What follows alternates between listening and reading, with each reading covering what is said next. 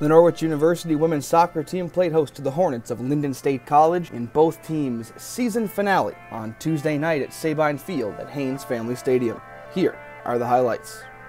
Rocheville works the ball free at the 18, lets a shot go, and she scores! Sydney Rocheville got the ball free just outside the Hornet 18 and sent a high shot over Sargent for Rocheville, her fourth goal of the season. Now a through ball for McMullen. McMullen breaking in on goal. Gets the shot off and she scores.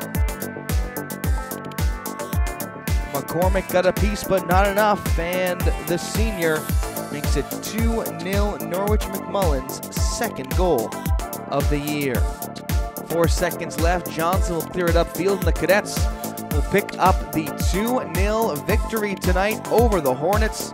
Norwich improves to 3 and 12 on the season, and the Hornets fall to 0 13 and 1. This video was produced by Norwich Athletic Communications.